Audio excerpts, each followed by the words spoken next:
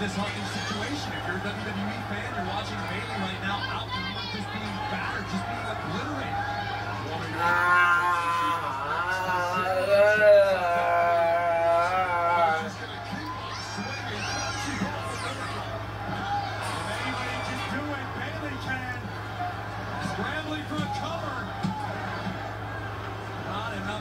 Stratton down. Well, that may have been the biggest opportunity Bayley had. Jax was momentarily at least down, somehow Michin is back up. Yeah, but what condition is Michin truly in, Ray? We, we see that she's now back to a vertical base.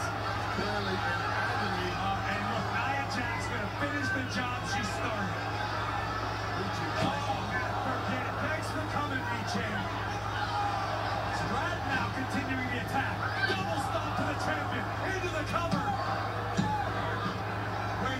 due to the champion psyche. We'll talk about this on the other